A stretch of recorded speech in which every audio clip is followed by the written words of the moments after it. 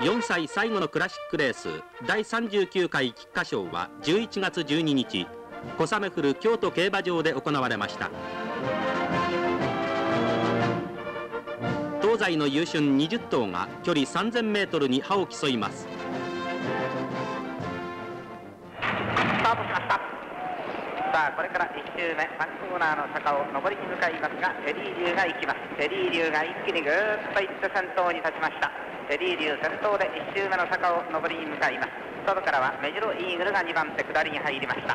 内につけましてハマペンダスが3番手下り坂に入りました。縦に長い展開前の3頭インターグ試験が続きまして4番手。エンペラーエースが5番手6番手は内に回りまして坂連が続いております。これから1周目の4コーナーのカーブに入ってまいります。その後ろですが中段グレープ。外をつきまして桜勝利。そのインコースにはメジロメトロジャンボ。そしてメトロジャンボのさらにインコースには、えー、マイフォース。この辺りがまず1周目のところで、えー、中段グループであります。スタンド前に入ってまいりました。テリー流がラチ沿いに取りますが外からはメジロイーグル。メジロイーグルが2番手であります。そして3番手にはタマテンダスが続きます。前の3頭からやや離れました昨年そして桜勝利が中に入っています。さらにはエンペラーエース。スタンド大歓声が沸きます。スタンド前。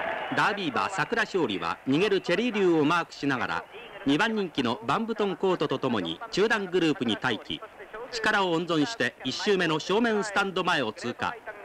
第4コーナーに入ります。さあこれからメジロイーグル打ちにしまして桜勝利がこれを見ながら並んでまいりました。さあ2頭の対決かメジロイーグルか桜勝利か400の標識を通過。直線コースに入るメジロイーグル懸命に粘っている桜勝利が外から来る。そしてバンブトンコートバンブトンコートが大外から来る。竹の中終わった竹の中終わった。インターブチ券が最内に突っ込んだ。4頭横に広がった。ゴール200メートル。さあ先頭はメジロイーグル。メジロイーグル先頭。桜勝利懸命に押してくる。内からインターブチ券内からインターブチ券インターブチ券の上。インターブチ券内からキャプテン野村。キャプテン野村。先頭はインターブチ券ゴール。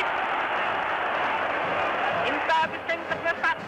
内からキャプテン野村結局3番人気のインターグ試験は直線鋭く伸びて3分6秒2のレコードタイムで快勝。